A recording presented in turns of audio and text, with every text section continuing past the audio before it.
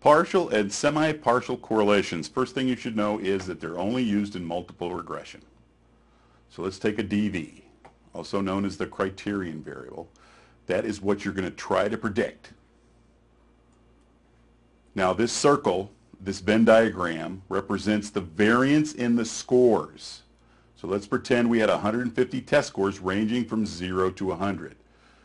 So what you're going to do is you're going to come up with some independent variables, some IVs, and measure those about each subject in your study to try to predict the outcome in the DV.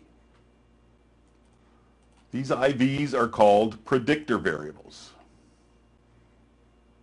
because with them you're trying to predict the subject's outcome in the DV, trying to find out their final test scores. Uh, so when you switch it over to a, um, a model, you don't call them IV1, IV2. You, you label them X1, X2, X3, Xn. You can have as many as you want.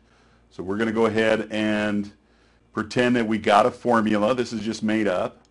So 44.2 is the uh, slope intercept. That's, that's where it crosses the line when x equals 0. And then the rest of these have little coefficients to them. So x1 is 0.03, that's not very big. 0.06 times x2, not very big. 0.32 times x3, that is fair good size. So that, the bigger the size, the more variance explained. So we have this generic model, right? There's your x1, x2. However much of the big DV circle is overlapped, that's how much that specific variable explains the variance. Anything not in one of these little circles is called error. It's not error of, of the actual variance, it's error in research predictability. So we're going to take an example. We have three different IVs, call it A, B, and C. We're going to try to use these IVs to predict the outcome of the DV for each individual subject. Let's pretend their age, height, and shoe size from each subject. And let's pretend again that this is the formula that we get, usually using SPSS.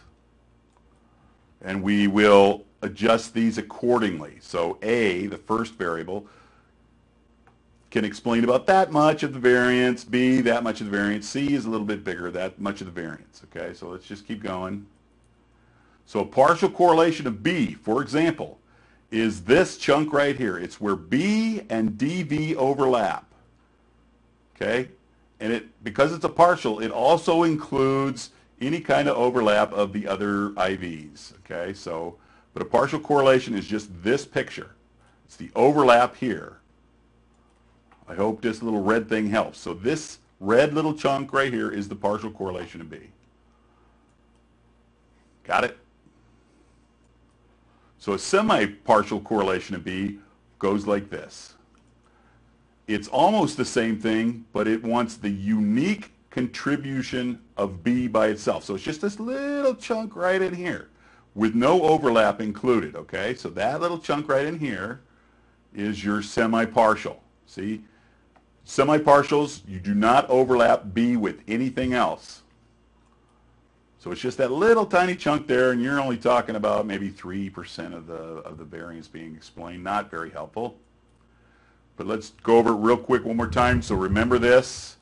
A partial correlation of B takes into account all the overlap of B on the DV plus the overlap of A and C. Okay. A semi-partial correlation, there is no overlap it's just this little chunk here. Boom. So that's the difference between a partial correlation and a semi-partial correlation. And I really hope that helps. Thank you very much. Bye.